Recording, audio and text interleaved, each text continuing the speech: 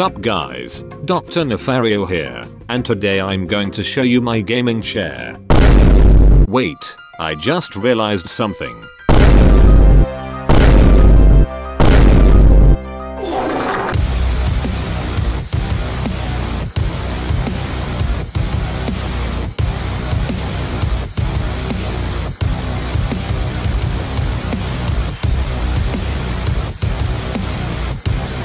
Much better.